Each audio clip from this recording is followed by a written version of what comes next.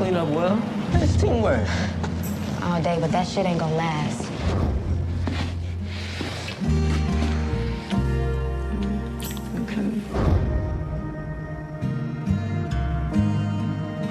Please help me take down Lamar. Baby, we can do this together.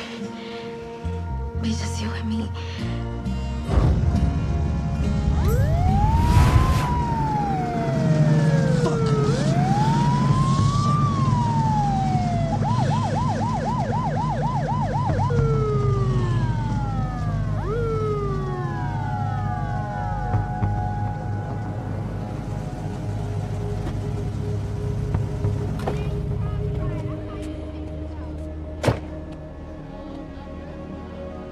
Can you get out the car, please?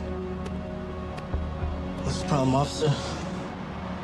I said get out the fucking car.